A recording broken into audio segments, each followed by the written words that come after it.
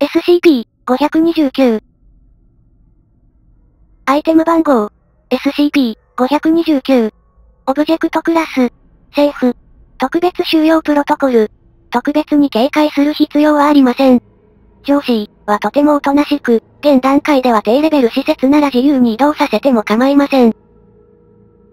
ただしチーズを与えてはいけません。欲求を満たすのに不十分な量のチーズを与えると悲しむためです。説明。SCP-529 は灰色の波模様のある小さな家猫です。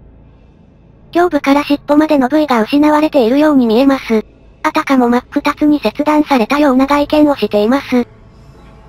そのような状況にもかかわらず健康問題はなく、まるで獅子が全て揃っているかのように動き回ります。例えば、歩行や食事後の排泄物なども身体が欠けていないかのように動きます。断面図から身体の中を覗くことはできず、代わりに可視光線をすべて吸い込む黒い綺麗な穴が見えます。触れると緩やかに曲がっています。この箇所を優しく撫でるとポジティブな反応、喉を鳴らすなど、を示しますが、長く続けるとエージェントに対し爪を出して襲いかかります。引っかかられても特に異常はありません。下半身が見えないわけではありません。実験により下半身は存在しないと判明しています。DNA 検査によりメスと判明しています。